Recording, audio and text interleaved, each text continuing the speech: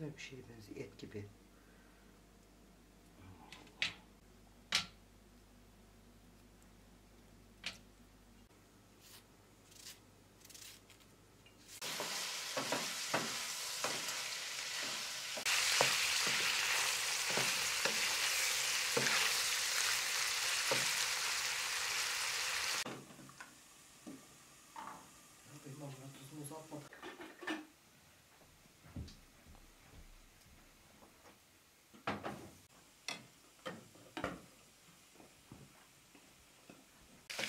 Daha kızarsın.